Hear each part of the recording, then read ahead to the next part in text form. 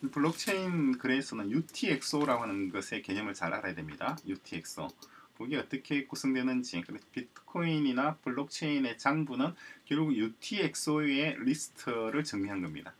이게 뭔지를 이해를 하면은 그 전반적인 것이 이해가 될 겁니다. 첫 번째 볼게요.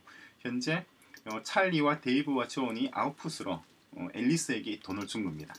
돈을 주니까 찰리는 12코인, 데이브는 16, 존은 8코인을 줬다고 가정합시다.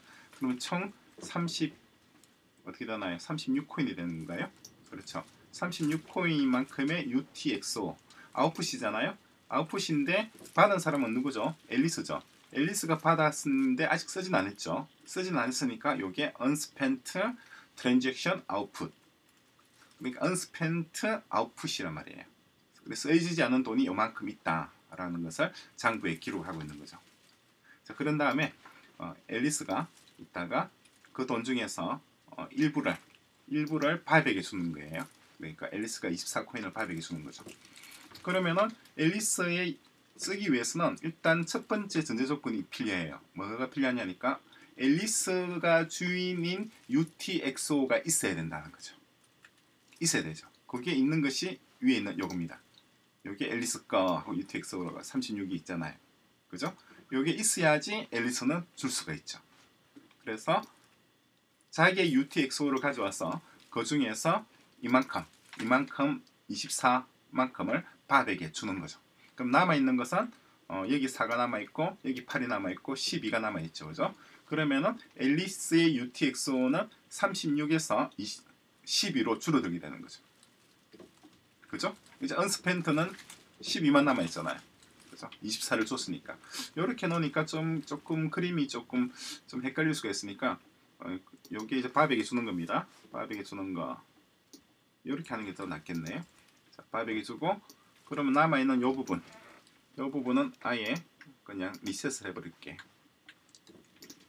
리셋을 해 버리면은 그러면은 이제 이거는 spent가 된 거죠. spent가 됐으니까 앨리스가 원래 가지고 있던 36에서 24를 썼으니까 남아 있는 건 얼마가 남아 있게 되나요? 그렇죠. 12가 남아 있게 되죠. 그럼 앨리스의 UTXO는 다음번 블럭에 다음번 블럭에 12라고 기록이 되게 됩니다. 그러면은 현재의 UTXO는 어떻게 되나요? 현재 UTXO는 36으로 기록되어 있죠. 그죠? 여기서 24만큼 빼게 되는 거죠. 그죠? 그래서 unspent 상태에서 spent 상태로 바뀌게 된 겁니다. 여기에 적어볼까요? unspent에서 unspent에서 spent로 바뀌게 되는 거죠. 근데 이 spent로 바뀌었다는 사실을 언제 알게 되나요? 다음번 블럭에서 알게 되는 거죠. 그죠? 그러니까 다음번 블럭이 만들어지는 거는 빨라야 10분이 걸리잖아요.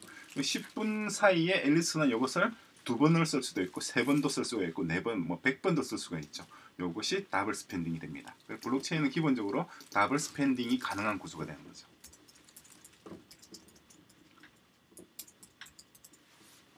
그리고 블록이 만들어지는 시간 차이 때문에 그렇습니다. 어쨌거나 이제 밥에게 24를 줬으니까 12만큼 남아있게 됩니다. 그럼 밥 입장에서 볼게요. 그럼 밥은 지금 현재 12만큼이 여기에 밥거 이렇게 되는 거예요. 이만큼이 밥 밥의 unspent가 되는 거죠. 밥 거. 밥거 unspent입니다. 24. 그 제가 unspent 총량은 똑같습니다. 밥 24, 앨리스가 12 합해서 원래 36이었잖아요. 그만큼 이번에는 이전에는 앨리스만 혼자 36이었는데 지금은 앨리스와 밥이 나눠서 36이 된 상황이 됐죠. 그죠? 자, 이 상황에서 밥이 어, 다른 사람에게 또 뭔가를 줍니다. 엘가에게 8코인을 주는 거예요. 그럼 이게 이렇게 되면 아니죠. 다시 정리를 할게요. 그러면 8코인이니까 요만큼 주게 되겠네요. 요만큼을 엘가에게 주는 겁니다. 어, 색깔이 이 색깔이 아니네요. 자, 이만큼을 8코인 주는 거죠. 그러면은 이제 24, 24를 원래 밥이 누군가에게 주기 위해서는 밥 명의의 언스펜트가 있어야 된다 그랬잖아요. UTXO가 요거예요. 요걸 있으니까 요걸 가져와서 밥이 다른 사람에게 그 중에서 8코인을 주게 된 거죠. 8코인 주게 되니까 이제 밥권은 얼마나가 남게 되죠? 16이 남게 되죠. 그죠? 밥에 그러면은 밥의 것은 16. 좀 전에 지웠던 거 그거 다시 살려야 되겠네요.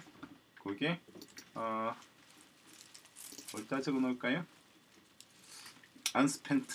아, 그냥 있다고 적어 놓을게요. 그럼 여기 있다고 할게. 그림을 가져와서 두면 좀 더 이쁘게 될 것 같은데 예, 이렇게 적어 놓을게. 음, 통째로 왔네. 16만큼이 밖에 남아 있는 거고 언스펜트가 됩니다. 그죠?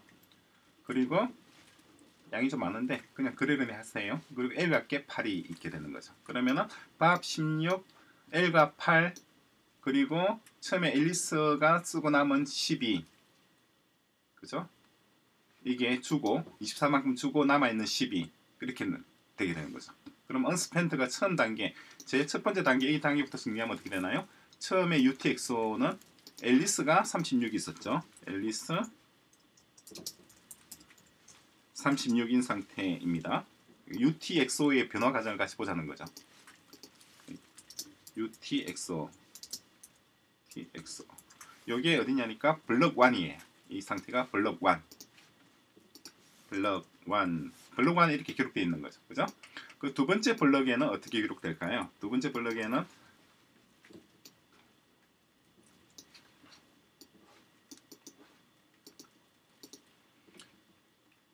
앨리스는 12만큼 있고 그죠? 그리고 밥이 24만큼 있게 되죠. 밥이 24 이렇게 적혀 있는 거예요. 그럼 세 번째 이게 블럭 2입니다. 세 번째 블럭은 어떻게 될까요? 세 번째 블럭은 그럼 각 블럭마다 거래가 한 번만 있었다고 가정할게요. 뭐 물론 그런 경우는 없겠습니다만 지금 그냥 그 논리 알고리즘을 우리가 이해하려고 하는 거니까 한 번만 거래가 있었고 딱 블럭 하나 거래가 한 번 있고 블럭 하나 만들어지고 블럭 또 거래 하나 있고 또 블럭이 만들어진 걸로. 그럼 세 번째는 앨리스 12가 되고 밥은 8이 빠지게 되니까 16이 남을 거고 그리고 또 누가 있죠? 그렇죠. 어, 거기다가 엘가가 이제 8만큼 있는 거죠. 근데 블럭이 만들어질 때마다 어떻게 되나요? 마이너에게 상금으로 누군 또뭐 뭐뭐몇 코인이 가겠죠, 그죠? 그러면은 여기다 상금 첫 번째 블럭 만들었을 때 상금이 뭐 예를 들어서 5코인이 추가되었다고 가정합시다. 상금은 색깔을 좀 다르게 볼까요? 마이너 마이너 마이너에게 준 상금 5코인 여기에 안스펜드 추가될 거고 다음 번 블럭에도 마이너가 또 5, 또 다음 블럭, 블럭에도 또 5 이렇게 추가되겠죠. 한 가지 비워놓을까요? 이렇게 되는 거잖아요. 그죠? 첫 번째 이게 첫 번째고 이게 두 번째 그리고 여기 세 번째 이렇게 그러면은 UTX는 어떻게 되나요? 계속해서 증가를 하게 되죠. 총액은. 왜냐하니까 마이너 목이 계속해서 증가하고 있으니까. 추가가 되니까. 그렇죠? 그 언제나 지금 보면은 마이너의 어, 그, 그, 어, UTXO의 어, 밸런스가 이렇게 유지되고 있는 것도 보이죠. 그죠?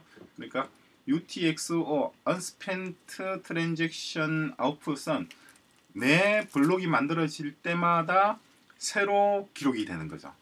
그러니까 블럭이 만들어지는 그 사이 10분이라고 가정을 합시다. 10분 사이에 무수히 많은 UTXO가 어, spent로 바뀌게 되고 spent로 바뀐 내용들이 다시 또 새로운 주인의 UTXO로 넘어가게 되는 거예요. 그래서 블럭이 하나씩 만들어질 때마다 그런 UTXO 그리고 지분의 변화 전체 코인에 대한 각 시장 참여자들이 지분이 어떻게 변화하고 있는지를 기록해 나가는 것이 결국 블록이 되는 거죠.